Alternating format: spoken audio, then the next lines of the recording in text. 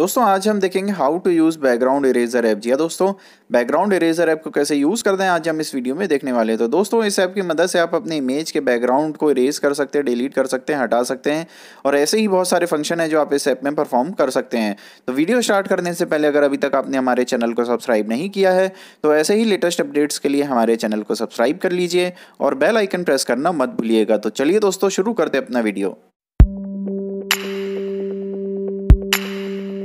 दोस्तों, ऐप को डाउनलोड करने के लिए आपको प्ले स्टोर में जाना है, उसके बाद टाइप करना है बैकग्राउंड इरेजर तो आपको कुछ इस टाइप का इंटरफेस दिखाई दे जाएगा। ये है ऐप का लोगो मैं आपको दिखा देता हूँ ऐप का लोगो इस ऐप को आपको इंस्टॉल करना है। अब हम ऐप को ओपन करते हैं। तो दोस्तों, आप जैसे ये ऐप ओपन करेंगे तो आप इस इंटरफेस पे आ जाएँगे। यहाँ पे आपको ऊपर हाउ टू यूज़ का भी एक ऑप्शन दिखाई दे रहा है तो वहाँ पे भी जाके आप देख सकते हैं इस ऐप को कैसे यूज़ करना है। और आपको उसके बाद एक लोड अप फ़ोटो का ऑप्शन दिखाई दे रहा है तो आप उस पर क्लिक करेंगे। तो आप अपनी गैलरी में चले जाएँगे, वहाँ से आपको वो इमेज चूज़ करना है, जिसका बैकग्राउंड आप इरेज करना चाह रहे हैं। फिर हम देखते हैं उसको कैसे एडिट करना है।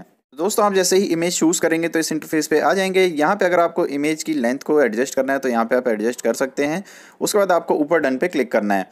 तो जैसे ही आप डन पे क्लिक करेंगे तो अब हम इस इंटरफेस पे आ जाते हैं। यहाँ पे आपको नीचे फिर बहुत सारे टूल्स दिखाई दे रहे हैं। तो यहाँ पे आपको एक मैनुअल टूल दिखाई दे रहा है जिसपे ऑलरेडी क्लिक्ड है। तो यहाँ पे आप इस टूल का यूज़ करके मैनुअली आप यहाँ पे बैकग्राउंड को इरेज कर सकते हैं। आप देख रहे हैं, मैं यहाँ पे इरेज करता जा रहा हूँ तो मेरा बैकग्राउंड जो है वो डिलीट होता जा रहा है। अगर आपको कर्सर का जो जो इरेज करने वाला जो सर्कल है, उसके साइज़ को अगर इंक्रीज करना है तो यहाँ पे आपको ये ऑप्शन दिखाई दे रहा है। आप सिंपली इसको ड्रैग करिए तो आप देख रहे हैं, यहाँ पे आपके सर्कल का साइज़ बढ़ गया है। दोस्तों, यहाँ पे आपके सर्कल का साइज़ जो है वो अब इंक्रीज हो चुका है। अब आप इसको और आसानी से मैनुअली आप इसको इरेज कर सकते हैं।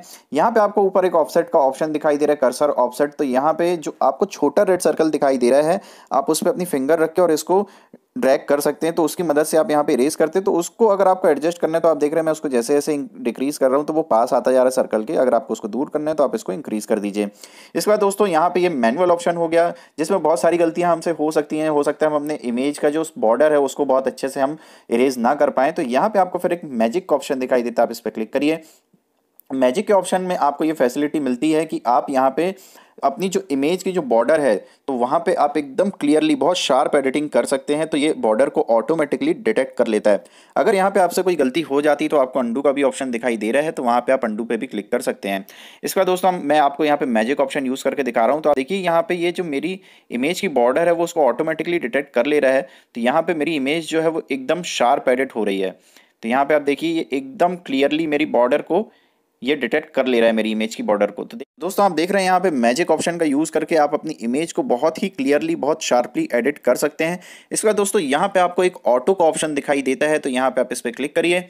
तो यहाँ पे आप ऑटो में आप इसको सिंपली यहाँ पे सर्कल ले जाके अगर छोड़ देते हैं तो ये ऑटोमेटिकली उतने पार्ट को इरेज कर देगा कर देगा। यहाँ पे आपको कोई भी मैनुअल प्रोसेस नहीं करनी है। अब अगर आपसे कोई भी इमेज को एडिटिंग करने में दिक्कत हो जाती है या गलती हो जाती है तो यहाँ पर आपको एक रिपेयर का भी ऑप्शन दिखाई दे रहा है। आप उस पर क्लिक करिए। तो यहाँ पर रिपेयर के ऑप्शन पर क्लिक करने के बाद आप जहाँ पर भी इस कर्सर को ले जाएँगे तो आप देख रहे हो उतना पार्ट जो है वो आपका वापस आ जाएगा।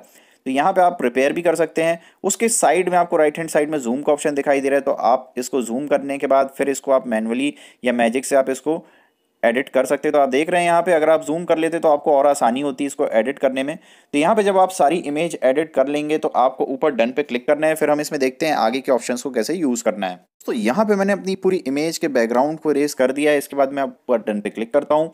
तो दोस्तों, आप जैसे ही डन पे क्लिक करेंगे तो इस इंटरफेस पे आ जाते हैं। यहाँ पे आने के बाद मैं अब इसको थोड़ा सा जूम कर लेता हूँ। यहाँ पे दोस्तों जूम करने के बाद मैं आपको बता देता हूँ, यहाँ पे स्मूथ का एक ऑप्शन दिखाई दे रहा है। तो यहाँ पे आपको one two three four five तक नंबर दिखाई दे रहे हैं। तो आप इस पर क्लिक करिए। तो यहाँ पे ये जो आपकी जो इमेज की बॉर्डर है, उसको और स्मूथ करता जा रहा है। तो यहाँ पे दोस्तों, आप देख रहे हैं, आपकी इमेज की जो बॉर्डर है जैसे जैसे आप स्मूथनेस को बढ़ा रहे हैं तो यहाँ पे आप देख रहे हैं मेरी जो इमेज की बॉर्डर है वो बहुत शार्प होती जा रही है और ये फाइनली बहुत शार्प हो गई है। तो यहाँ पे आप देख रहे हैं बहुत ही क्लियर हमारी इमेज यहाँ पे एडिट होकर बाहर आ गई है, जिससे बैकग्राउंड इरेज हो चुका है।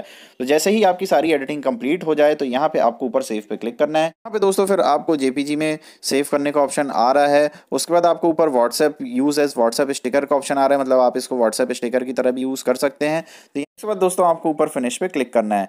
दोस्तों आप जैसे ही फिनिश पे क्लिक करेंगे तो आपकी जो इमेज है वो आपकी गैलरी में सेव हो गई और वापस आप उसी इंटरफेस में आ जाएँगे जहाँ से हमने स्टार्ट किया था। तो दोस्तों, आपने देखा कैसे हमने बैकग्राउंड इरेजर ऐप का यूज़ किया, कैसा लगा आपको वीडियो आप हमें कमेंट करिए। वीडियो को लाइक और शेयर ज़रूर करिएगा। Thank you friends